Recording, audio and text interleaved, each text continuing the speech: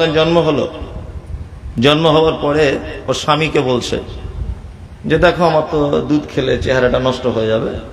তার এক কাজ করো রেড কাউ দুধ কিনে আনি।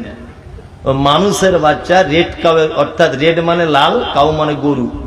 মানুষের বাচ্চা লাল গরুর দুধ খেয়ে মানুষ হচ্ছে। তো ওর চরিত্র তো গরুর মতনই হবে না? ওই চরিত্র মানুষের মতো হতে পারে? পৃথিবীর এরকম কোন সিস্টেম আছে দেখেছেন? কোন সিস্টেম দেখেছেন? অনেক মায়েরা বলছেন যে, আমার বুকে দুধ আসে না মৌলী সাহেব! বদমায়াস কোথাকার? দুধ আসে না। কুকুর তো কোনোদিন ল্যাবরেটরিতে যায় না? ছাগল কোনোদিন ল্যাবরেটরিতে যায় যে, আমার বুকে দুধ আসছে না। গরু কোনোদিন যায়? পৃথিবীর অন্য কোন প্রাণী যায়? কেউ যায় না। আল্লাহ বাচ্চা যখন দিয়েছে, তার আঘাত তার মায়ের বুকেই দিয়েছে। হয়তো তোমার নিজস্ব খাওয়া দাওয়া কম, তোমার নিজের ট্রিটমেন্টের ভুল, ওই জন্য দুধ হচ্ছে না? সেটা আলাদা আল্লাহ এত নিষ্ঠুর যে আমি তোমার পেটে একটা মানুষের আশরাফুল মকলুকাত শ্রেষ্ঠ জীব। তোমার বাচ্চা হিসেবে তোমার পেটে দিলাম তার দুধ দিব না আমি বুকে? এটা হতে পারে?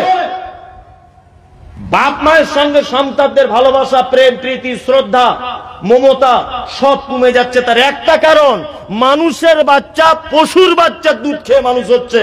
ওই জন্য বড় হয়ে তার চরিত্রটা অনেকটা পশুর মতো হচ্ছে। আর শুধু মসজিদের ইমাম সাহেবকে গিয়ে গেজার গেজার করছে একটু বাপ মায়ের ব্যাপারে, ওয়াজ করুন না, জি বড় বউটা একটু যদি দেখতো, তার মোটেই দেখছে না। ছোট বহুটা যদিও দু একবার আব্বা বলে ডাক্তার মোটেই চান্স দিচ্ছে না।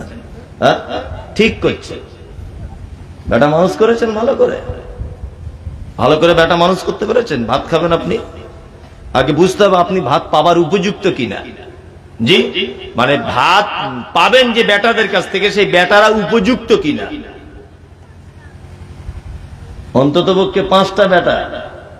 অন্তত পক্ষে একটা বেটাকে একটু মাদ্রাসা এতে লাইনে দেন না, বা দিনের শিক্ষা দেন না।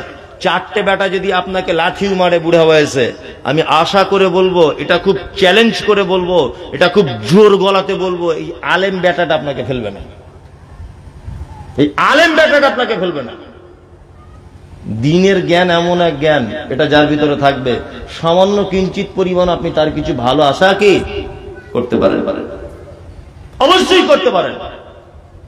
আমার মহিলা মাদ্রাসায় সোশ্যাল মিডিয়াতে দেখেছেন। আমি মহিলা মাদ্রাসা মেয়েদেরকে বলেছি তোদের মৌলবী সাহেব কমপ্লিট হতে হবে না। তিন বছর করে থাক নিয়ে ঘর চলে যা গিয়ে বিয়ে শাদী করে লিখে যা।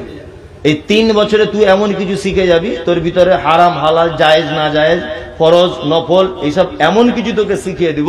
আমি চাই যে সমাজে এখন ভালো বৌমা উপহার দিতে হবে তাছাড়া সমাজের বারোটা বেজে যাচ্ছে।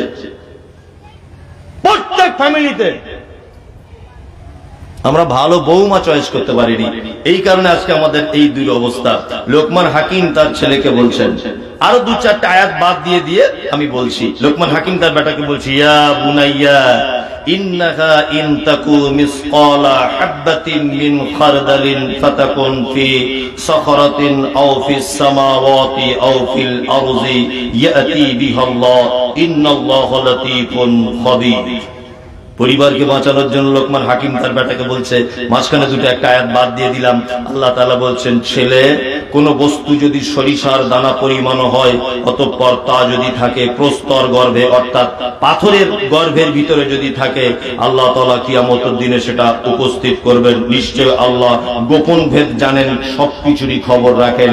লোকমান হাকিম তার বেটাকে বলছে, বেটা, সরিষার দানা সম পরিমাণ তুমি যদি পাপ কাজ করো আল্লাহ কি আমতের মাঠে সেটা দেখাবে। এই আপনার বেটাকে আপনি এই ওসিয়াত করতে পেরেছেন?